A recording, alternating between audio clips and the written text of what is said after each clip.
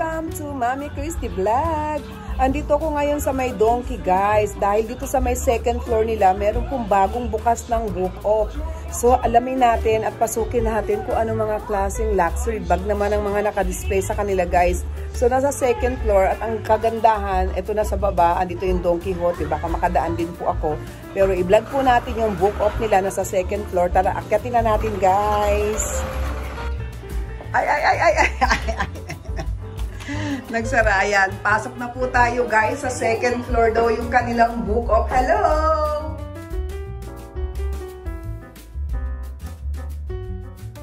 Guys, grabe. Ang laki din nitong bagong bukas nitong book of na to. At tignan naman ninyo. Ang lawak-lawak. Kasi nga dito guys, yung book of, ayan kasi meron silang mga gamit sa bahay, mga panlalaki, pambabae, pangbata. So, ang dami kompleto talaga. Grabe pa natin sisimulan to. Ang dami. So, unahin muna natin yung mga luxury bag. Kung ano mga naka-display nila dito. Para guys, ang laki niya.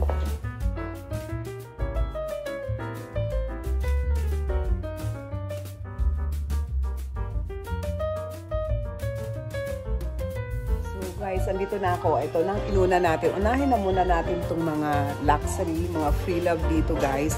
So, nagbukas sila dito nung last year, December 10 po. Yun, ka-open lang po nila. Kaya bagong-bago pa lang. So, ayan, tingnan natin muna. Unahin natin yung mga ano, yung mga mga luxury. Ayan, may Gucci, may Fendi. So, sisimulan ko na guys. Sisimulan ko na kuna ng video. Ayan, napakadami. So, ang kagandahan talaga, bawat store, bawat book of or 22nd Street, ang kagandahan, iba-iba kasing klase ng display ng mga luxury bag nila, ng mga free love nila. Talaga naman guys, ma-amaze ka talaga dito no, sa Japan. Sobrang dami, hindi ka mauubusan talaga. So guys, tara na, simulan na natin mag-video.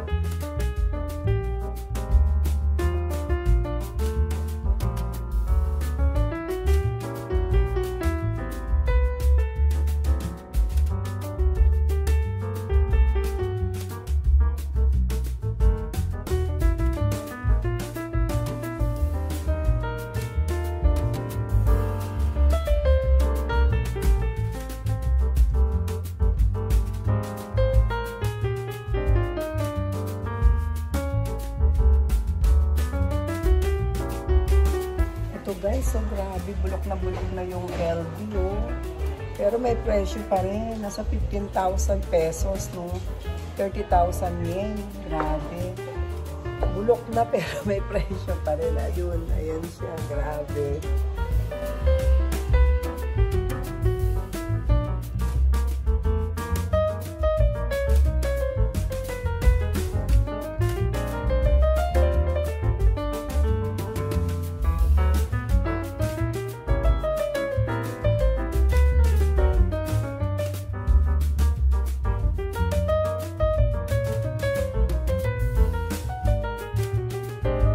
So, ayan guys, ito nakunan ko na dito sa kabilaan, nakunan na natin ng video. So, napansin ko, old style na ng mga LV, no, luma na yung style nila. And then, mura nga siya, pero hindi na ganun kaganda yung condition. Oo, medyo talagang ano na, o, luma na, kumbaga, nasa mga rank C na yata. Yan. Ganun na yata yung mga rank niya, no. Katulad nito, ayan, lumang-luma na, bulok na bulok na siya. Tapos, ito din. Ayan. Lumang-luma na siya, guys. Bulok na. Pero may presyo pa rin, ha. Nasa tatlong lapad, nasa 15,000 or almost 15,000 sa peso natin, ano. Yun, old style na. Luma na yung mga style nila dito. Oo. Pero, ayan. Dito, dito pa lang naman ako sa side na to. So, itong banda dito na sa harapan, medyo, ayan, bago. Pero ito, lumang style na rin itong nandito. Yung nasa dulo, ganun din yata. Ayan. So, banda dito naman may Chanel silang kaunti. Teka, kunan ko muna ng video, guys.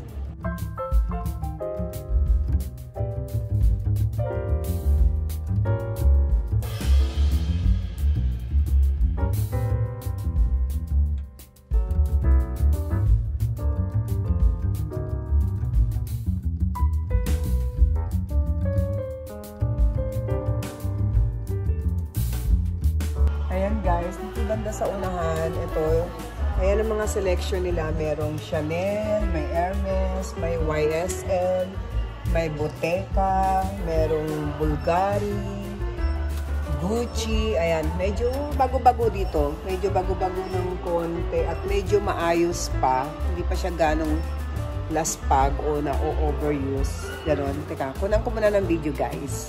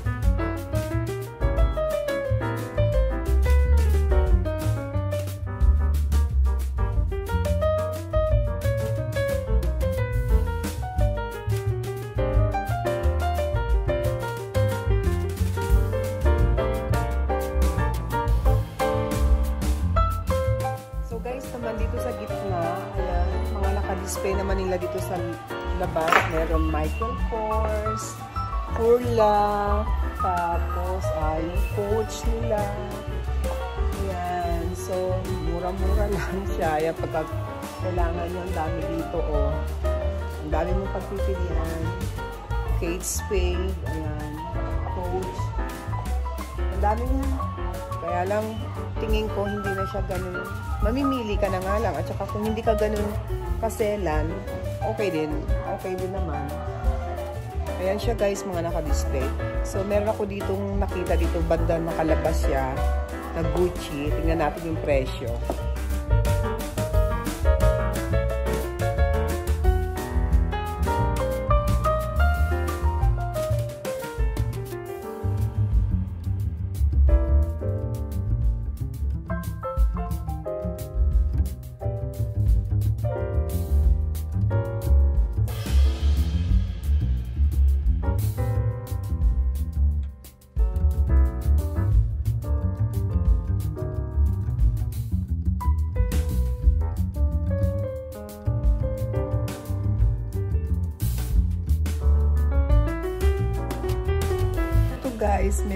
Gucci dito oh. Ayan, lumang-luma na siya. Ang dumi niya, pero yung presyo niya nasa 6,500 pesos. Mura lang. Siguro palalaba mo na lang yan, labahan mo o palinis mo. Yan. So, ang dami. Mga coats naman dito banda. so, hindi ko bet dito guys. Ginsa tayo, tsaka sa Shinjuku. No? Yan. Yung mga ano lang ha, yung mga pre-love na mga bag nila doon. Parang hindi ko gusto kasi, okay, siya branded, Gucci, ganun, Louis Vuitton. Pero ang problema is uh, yung condition niya hindi maganda. Nasa mga ranksy na talagang ano na siya. So, marami na siyang sakit, kumbaga sa tao. oh, ito guys, meron oh, Tiffany and Co. Ayan. 4,000 yen.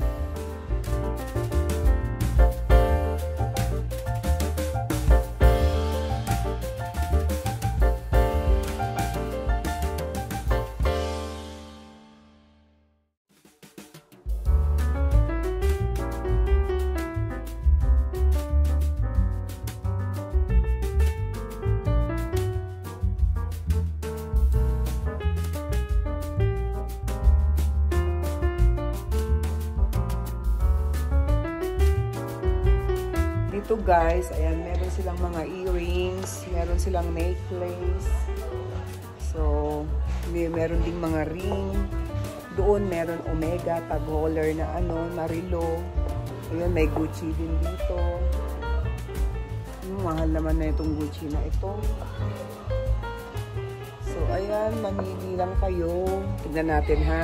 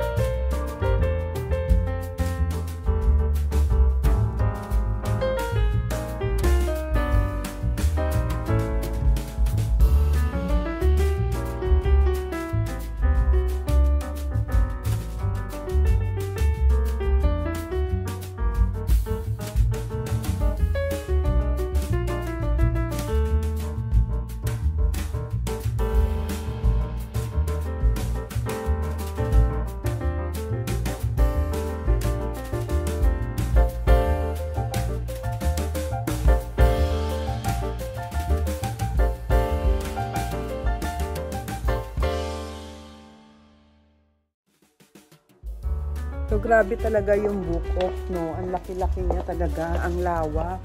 So, kasi sa dami din, yung mas maraming tinda silang damit.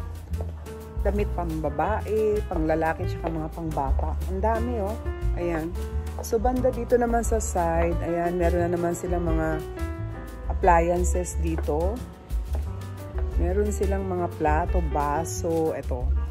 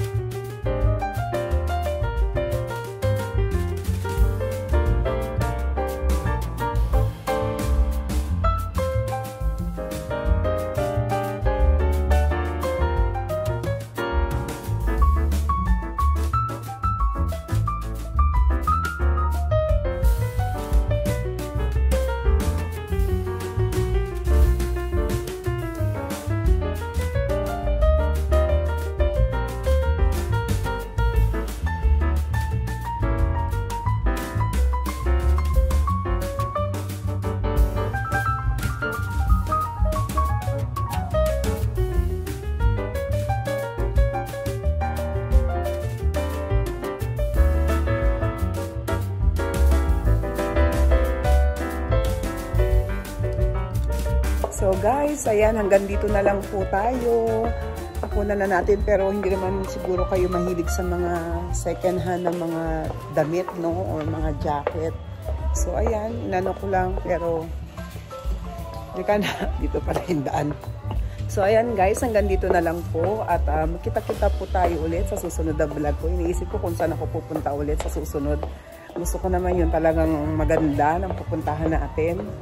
Baka mag-Tokyo po ulit ako sa susunod na vlog ko. So, ayan po guys. Hanggang dito na lang po. Maraming salamat sa panonood at huwag po natin kalimutan mag-subscribe. Bye!